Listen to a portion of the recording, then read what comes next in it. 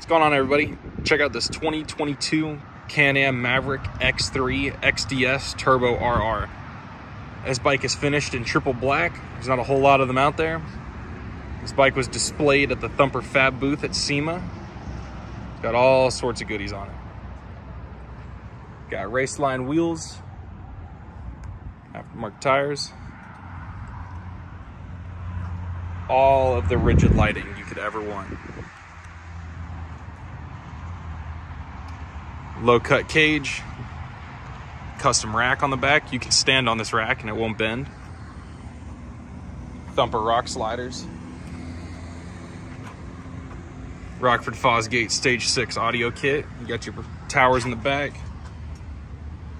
Speakers in the dash. Speaking of dash, check that out.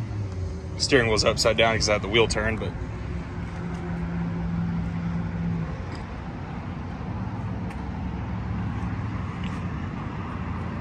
This thing is rowdy, it's fun, sounds good. It is a blast to drive and it just looks so good.